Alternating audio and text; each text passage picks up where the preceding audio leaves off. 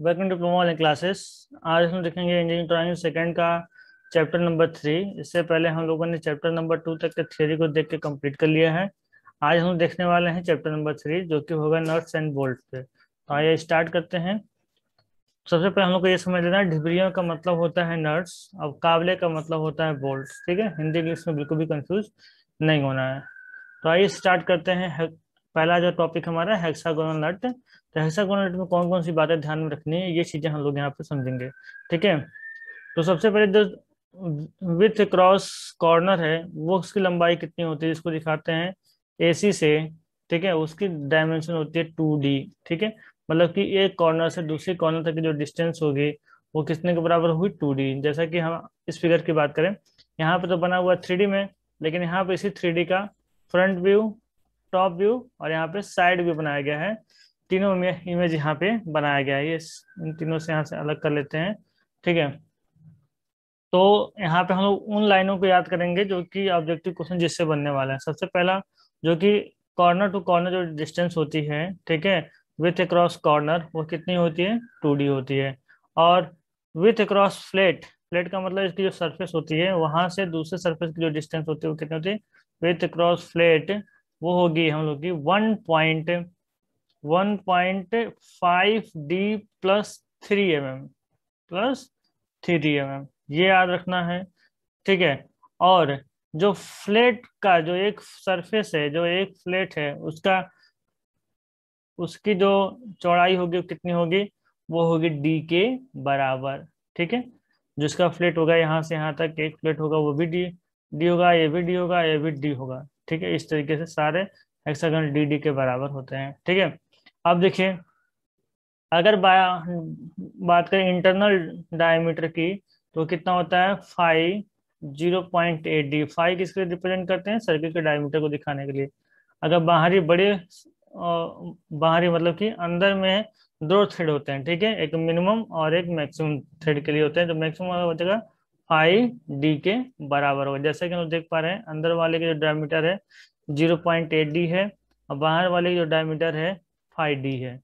ठीक है? तो ये चीज़ यहाँ से कंप्लीट हो गया। और ये जो आर्क बना हुआ है, ये आर्क बनाने की जो रेडियस होता है, वो कितना होता है? R is equal to one point five D ठीक है? जो कि यहाँ पे दिखाया गया। R is equal to one point five D होता है। और तीस डिग्री पर चैम्फर्ड होता है। ठीक है? ये जो चैम्फर्ड देख रहे हैं, ये जो झुकाव है, वो तीस डिग्री पे होता है। ये याद रखना है कि चैम्फर्ड हमेशा तीस डिग्री पे होता है और नट की जो हाइट होती है, वो हाइट को ऐसे दिखाते हैं, वो डी के बराबर होता है। ठीक है? ये चीज़ याद रखना है। और डी होता क्या चीज़ है? डी होता है डायमीटर ऑफ़ बोल्ट। ठीक है? वो बोल्ट का डायमीटर होता है। जिस बोल्ट में नट को कसा जाना है, उसी बोल्ट के डायमीटर के अकॉर्डिंग नट का डिज़ाइन किया जाता है। ठीक है? तो यहाँ पे हम लोग को इतनी बातें याद रख के चलनी है, कॉपी पेन लेके बैठिए और ये सब टर्म वहाँ पे नोट कर लीजिए। आगे बढ़ते हैं, टाइम बहुत ज़्यादा लगने वाला है इसमें तो थोड़ा फास्ट चलेंगे। सेकंड है, स्क्वायर नट। ठीक है? तो स्क्वायर नट में देखिए, सेम फ्लैट टू फ्लैट जो डिस्टेंस है, वो सेम है 1.5 point five D plus three M hexagonal के लिए भी और स्क्वायर के लिए भी। ठीक है? और क्रॉस जो क्रॉस मतलब कि साइज़ अक्रॉस कॉर्नर कॉर्नर से कॉर्नर तक का जो डिस्टेंस है, वो यहाँ पे कितनी है? यहाँ पे दिखाई, देखने को मिलेगा आपको। वो हाँ under root W under root two W है। ठीक है? कितना है? यानी कि ए सी लिखा जाएगा तो अंडर रूट टू डब्लू और डब्लू क्या होता है? तो यहाँ पे भी देखने जाएगा। डब्लू के बारे में यहाँ पे हाँ देखिए डब्लू के बारे में हाँ बताइए रहा डब्लू जिसकी वैल्यू कितनी होती है? W equal to one point five D plus three M M होता है। ठीक है? यानी कि कॉर्नर से कॉर्नर से डिस्टेंस अंडर टू डब्ल्यू और डब्ल्यू की value one point five D plus three ठीक है? और इसके एक फ्लेट ठीक है? इसका जो एक फ्लेट होगा, उसका भी डिस्टेंस डब्ल्यू के बराबर होगा। और डब्ल्यू यहाँ एक फ्लेट की डिस्टेंस कितनी है? One point five D plus three है। ठीक है डी से मल्टीप्लाई कर देंगे। जितना भी डायमीटर होगा, हमारा सोलह एम mm होगा, चाहे दस एम mm होगा, उसे मल्टीप्लाई करके इसकी चौड़ाई को निकाल लिया जाएगा। और यहाँ पर भी, यहाँ पर भी जो हमारा चैम्फर्ड होगा, वो कितना होगा? तीस डिग्री पे होगा। जो चैम्फर होगा, वो तीस डिग्री पर होगा। ठीक है? और देखिए, यहाँ पर रेडियस जो होगा R is equal to two D होगा। पिछले वाले में वन पॉइंट फाइव डी था यहाँ पे स्क्वायर नट में R is equal to two D होगा, ठीक है? और जो बोल्ट जो नट की ऊंचाई है, ऊंचाई को यहाँ पर टी से दिखाया जा रहा है, ठीक है? तो वो कितना होगा? ज़ीरो पॉइंट एट डी या से लेकर के ज़ीरो पॉइंट सॉरी डी तक हो सकता है ये, ठीक है? ज़ीरो पॉइंट एट डी से लेकर के डी तक हो सकता है, ठीक है? और अंदर का डायमीटर कितना है? यहाँ पे डी है, ठीक है?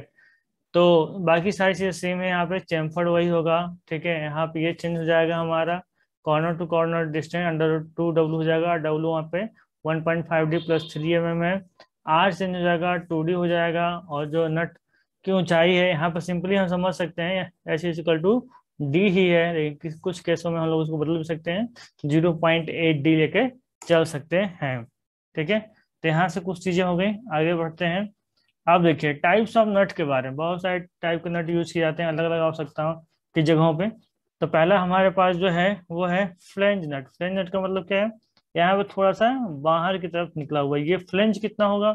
ये फ्लेंज की जो चौड़ाई है, वो zero point two five D होगी और कुल जो इसकी लंबाई होगी टू पॉइंट टू डी होगी। टू डी तो ऑलरेडी होती है, ठीक है? तो इसमें ज़ीरो पॉइंट टू डी को बढ़ा लिया गया है, बस। बाकी सारे टर्म जैसे हम लोगों ने हेक्सागन देखा सेम वैसे ही होंगे।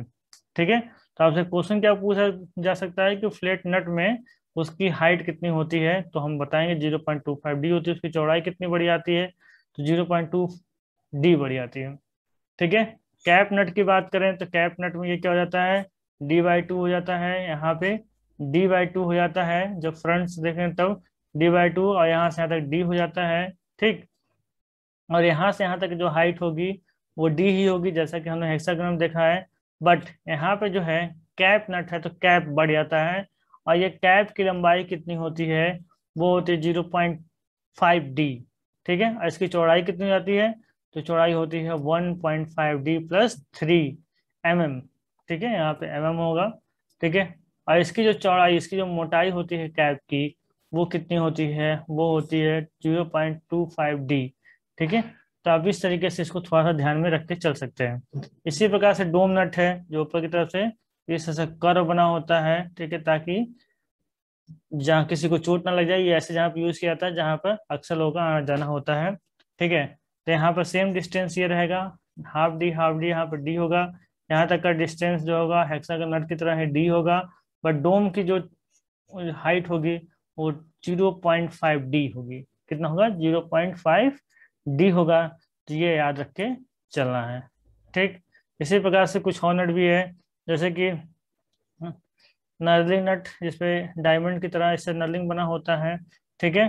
तो उसका अंदर का जो डायमीटर होता है, वो डी होता है, और बाहर का जो डायमीटर होता है 1.8 डी होता है, और इसकी नर्लिंग जिस पर कटी होती है, उसकी जो चौड़ाई होती है 0.5 डी होती है, ठीक है? इसी प्रकार से रिंग नट भी है तो यहाँ देख रहे हैं, रिंग बना हुआ है, रिंग नट है।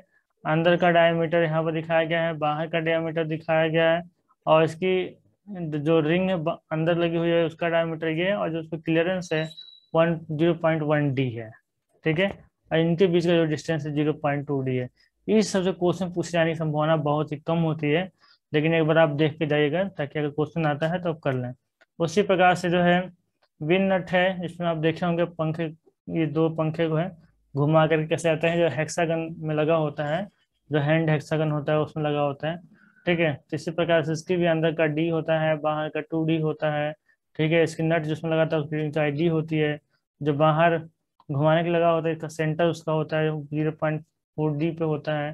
ठीक है? तो इसकी मोटाई रखी जाती है ज़ीरो पॉइंट टू डी ठीक है? तो इसको भी आप तैयार कर लीजिएगा। लेकिन एग्ज़ाम के पॉइंट ऑफ़ व्यू से जो अभी तक पढ़ाया गया है, वो हेक्सागन सबसे इम्पोर्टेंट है उसके बाद स्क्वायर नट है। बस ये बार ये इसको देख के ध्यान में रखिएगा। ठीक है, अब बोल्ट की बात कर लेते हैं। तो बोल्ट तो सबसे पहले हेक्सागन बोल्ट ठीक है? तो यहाँ इसका हेड देखेंगे तो हेड जो इसका है, पूरा पूरा हमारे नेट के जैसा ही होता है। देखिए, यहाँ फ्लैट टू फ्लैट डिस्टेंस जो है फ्लैट टू फ्लैट डिस्टेंस जो है, वो कितनी है? 1.5 डी प्लस थ्री है सेम उसी की तरह है।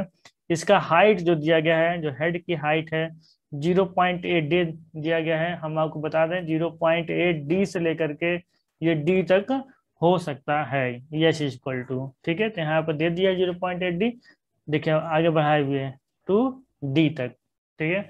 और यहाँ आर तो आप जानते ही हैं आर यहाँ पर लिखा गया है R is equal to one point six D और R is equal to one point five D भी हो सकता है। जो ऑप्शन में होगा, उसमें आप टिक करिएगा। ठीक है? यहाँ से यहाँ तक कॉर्नर टू कॉर्नर डिस्टेंस वो कितना है? वन वो देखिए टू डी है, वो है टू डी है, ठीक है? और जो डायमीटर है वोल्ट का सेक का वो कितना है? डी है, ठीक है? इसके बाद यक्स जिसपे चूड़ियाँ कटी हुई हैं, उसकी लंबाई कितनी हो सकती है? उसकी लंबाई यहाँ देखिए, चूड़िया कटने की जो लंबाई है, वो 1.2 डी टू 1.5 डी दे रखा है, इससे और भी ज़्यादा हो सकता है, ठीक है? और यल मतलब कि हेड के बाद से सेक तक की लंबाई, यहाँ से यहाँ तक की लंबाई L is equal to up to four D या इससे ज़्यादा रखा जा सकता है, हो सकता है कि अनुसार इसे बदला सकता है, लेकिन स्टैंडर्ड मान चलिए कि फोर डी है, ठीक है? यहाँ देखिए, यहाँ दिया हुआ है H is equal to zero point eight D to P L is equal to four D और X is equal to one point two five D to one point five D तो ये चीज़ें आपको इसमें याद रखनी है, इससे ऑब्जेक्टिव क्वेश्चन बनते हैं, ठीक है?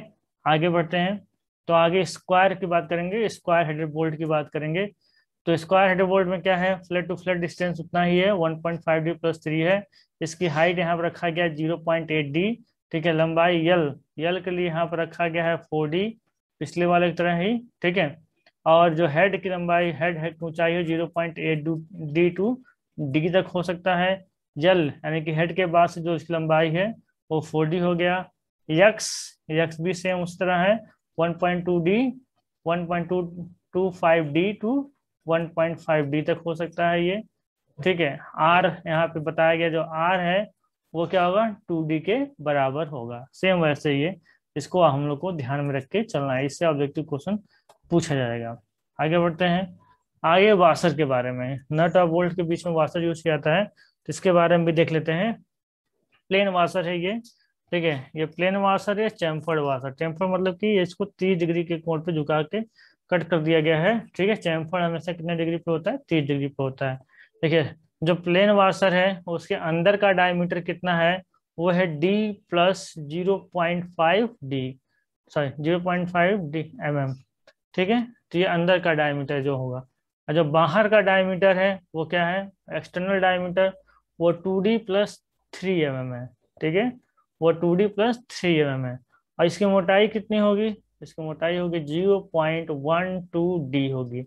ये हम लोग को याद रख के चलना है कि वाशर की internal diameter D plus zero point five D M M होता है। एक्सटर्नल डायमीटर हमारा होता है two D plus three three M M होता है और उसकी मोटाई zero point one two D होता है। ठीक है? चैम्फर्ड में सब चीज़ें सेम होती हैं, बस यहाँ पे चैम्फर्ड कर दिया जाता है।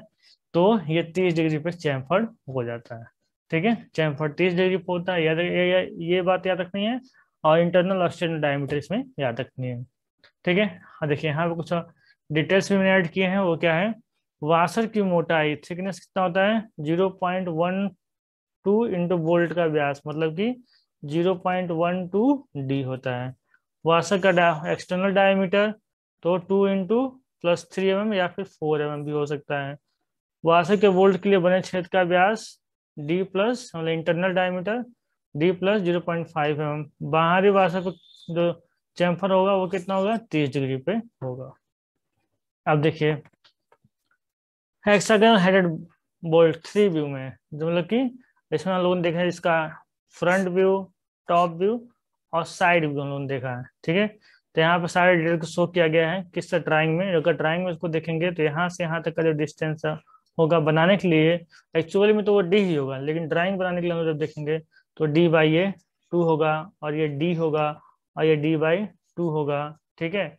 और यहाँ से यहाँ तक जो distance one point five D plus three होगा, ये डी होगा, ठीक है? और इंटरनल वाला ज़ीरो पॉइंट एट डी होगा और बाहर वाला डी होगा, जो कि हमने भी देखा था। और यहाँ से यहाँ तक जो थ्रेड इसमें चूड़िया कटी होंगे वो भी कितना होगा? ज़ीरो पॉइंट एट डी होगा, जो इंटरनल डायमीटर के बराबर होगा, इसके बराबर होगा। ठीक है? आगे देखते हैं। अब देखिए, इसमें क्या क्या नट और बोल्ट को आपस में कस दिया गया है, एक वाशर के साथ। ठीक है? तो ये तो क्वेश्चन का पार्ट था, मैंने ऐसे इंक्लूड कर लिया ताकि आपको देखने को मिल जाए कि यहाँ पर हेक्सागन जो है हेडेड बोल्ट है और उसमें हेक्सागन नट को वाशर के साथ असेंबल किया गया है। ठीक है? इसमें पूरे फार्मूलों का यूज़ करके ये फिगर दिखाया गया है। ठीक है? इसी प्रकार से यहाँ पे आप देखेंगे तो यहाँ पे लॉक नट का यूज़ करके असेंबली दिखाई गई है। तो ये सारी चीज़ें आपके क्वेश्चन में दिया गया था, ठीक है? ये फॉर्मूला यहाँ पर टी का फॉर्मूला एम का फॉर्मूला और एच का फॉर्मूला यहाँ पर लिख करके सॉल्व करके तब इसको यूज़ करना है, ठीक है? ऐसे ये जो नट होता है उसको भी चैम्फर किया जाता है, ठीक है? वो दिखाया यहाँ पे कितने पे फोर्टी फाइव डिग्री पे। नट को फोर्टी फाइव डिग्री पे किया गया, ठीक है? तो मेन चीज़ें हमने अब कंप्लीट कर दी है। ये सब चीज़ें आप सेम चीज़ें देख सकते हैं, यहाँ पर भी वही है, ठीक है, यहाँ पर भी वही है चैम्फर तीस डिग्री पे, सारी चीज़ें आप वही यूज़ होंगी, ठीक है? असेंबली में कोई चीज़ बदल थोड़ी जाएगी वही चीज़ यूज़ होंगी, ठीक है? तो सारी चीज़ें वही हैं। अब यहाँ देखते हैं फाउंडेशन बोल्ट के बारे में। फाउंडेशन बोल्ट होता क्या चीज़ है? इसको समझ सकते फाउंडेशन बोल्ट फाउंडेशन करने के काम आता है। जैसा नाम है उसका फाउंडेशन का ये मतलब कि जब कोई मशीनरी पार्ट को ज़मीन से बाँध के रखना होता है, ठीक है? उसको फर्श में फिक्स करना होता है तो उसके लिए जो बोल्ट यूज़ किया जाता है, उसको बोलते हैं हम लोग फाउंडेशन बोल्ट। फाउंडेशन बोल्ट कई प्रकार के होते हैं, उनका यूज़ करने का पर्पज भी अलग अलग होता है। यहाँ पे जो बोल्ट दिखाया गया है, एक्चुअली में बोल्ट ये है, ठीक है, और यहाँ जो फिगर दिखाया गया है, उसको ज़मीन में असेंबल करके दिखाया गया है। देखेंगे यहाँ पे ये ये सब कंक्रीट का साइन है, जो ये देख रहे हैं ना, ये सब कंक्रीट का है, ठीक है सीमेंट और बालू उसमें डाल के फिक्स कर दिया गया है वो दिखाया गया है। इसका सिंबल आपको फ़र्स्ट ईयर में पढ़ाया गया होगा फ़र्स्ट सेमेस्टर में ठीक है? तो ये चीज़ दिखाया गया बोल्ट वास्तव में ये है ठीक है? तो ये इसका नाम क्या है? इसका नाम है रैक बोल्ट ठीक है? ये बोल्ट का फिगर दे करके चार ऑप्शन दे देगा ये कौन सा बोल्ट है? तो आपको ये पहचानना होगा कि क्या है ये? रैक बोल्ट है ठीक है? तो इसके साथ साथ कुछ कुछ डायमेंशन भी आपको याद रखना पड़ेगा कि ये तो जान नट है यहाँ पे एक वाशर लगा हुआ है ठीक है? ये इसका बेस है ठीक है, जहाँ पर मशीन को फाउंडेशन किया जाएगा। ठीक है, अब देखिए, नीचे का सबसे जो इसका है, वो टू डी स्क्वायर में होगा। टू डी इसका डायमीटर होगा, यानी कि यहाँ से यहाँ तक की जो डिस्टेंस है, वो कितनी होगी? वो टू डी होगी। ठीक है डी क्या है? डायमीटर है किसका? ये वोल्ट का। ठीक है, और गहराई कितनी होगी उसकी? ए डी के बराबर होगी। उसी प्रकार से यहाँ पे देखिए, यहाँ पे क्या है? लेविस बोल्ट है। ठीक है तो लेविस बोल्ट में भी सेम चीज़ दिया गया देखिए, यहाँ इसकी चौड़ाई कितनी है? 1.5 डी है। इसकी चौड़ाई कितनी है? जो की लगी हुई है 0.5 डी है। इसको बोलते हैं की, ठीक है? पहले इसको लगा दिया, बाद में की को ठोक दिया जाता है ताकि जो फाउंडेशन है वो टाइट हो जाए, ठीक है? यहाँ पर इसकी चौड़ाई दिया है, जिसकी चौड़ाई 0.75 डी है और इसका डायमीटर डी है, ठीक है? और ये ज़मीन के साथ कितना ऊंचाई पे होगा? ये भी यहाँ पर दिया गया 2.5 डी है। तो यहाँ आपसे ये डायमेंशन पूछे जाने की संभावना बहुत कम है, ठीक है? आपसे पूछा क्या जाएगा? जैसे कि रैक बोल्ट कौन सा है, ठीक है? फिगर दे दिया उसमें से रैक बोल्ट आपको। यूज़ करना होगा। लेविस फाउंडेशन बोल्ट क्या है, ये आपको बताना होगा। ठीक है, इसका थियरी और भी हम एक्सप्लेन करेंगे, जो आप पढ़ेंगे थियरी बीएमसी वगैरह में, वहाँ पे। ठीक है? तो इससे इसे अब बस इतना समझिए कि उसको फिगर देख के सम पहचानने की कोशिश करिए, ठीक है? इसके रैक बोल्ट कौन सा है? तो रैक ये है, ठीक है? लेविस कौन सा है? तो लेविस ये है, ठीक है? इसमें कुछ डायमेंशन अगर याद कर सकते हैं तो याद करिए गहराई एट डी होती है, ठीक है? इसकी चौड़ाई वन पॉइंट फाइव डी होती है, इसकी चौड़ाई टू डी स्क्वायर होती है, ठीक है? ये थ्री डी के आसपास होता है। तो अगर इसे याद कर सकते तो बहुत अच्छी बात है, लेकिन कम से कम इतना तो याद करिए, उसका वो है क्या चिन्ह? फिगर को देख करके उसका नाम बता सकें। इतना ज़रूर तैयार कर लीजिए। आगे देखिए ये है स्क्वायर हेडेड बोल्ट जैसे कि आप देख रहे हैं, ये स्क्वायर हेडेड बोल्ट है। और ये है क्वार्टर बोल्ट यहाँ पे क्वार्टर का यूज़ किया जाता है, इसलिए बोलते हैं क्वार्टर बोल्ट ठीक है डायमेंशन को आप देख करके याद कर लीजिए। पीडीएफ हम डाल देंगे टेलीग्राम पे पीडीएफ वहाँ से आप डाउनलोड कर लीजिए। जिससे हम पढ़ा रहे हैं जिस स्लाइड से, वही स्लाइड हम पीडीएफ में करके डाल देंगे तो उसे आप डाउनलोड कर लीजिएगा। ठीक है, और पढ़िए नहीं समझ में आता तो फिर कमेंट करके बताइए। इसकी डायमेंशन कोशिश करिएगा कि याद कर लें। ठीक है, बहुत ज़्यादा डायमेंशन याद करेंगे तो फिर भूलने के चांसेस रहते हैं। तो कम से कम इतना तो याद कर लीजिए कि इस नाम के साथ फिगर को याद कर लीजिए। इतना काम करिए। ठीक है तो आज के लिए बस इतना ही। मिलते हैं नेक्स्ट वीडियो में। नेक्स्ट वीडियो हम देखेंगे।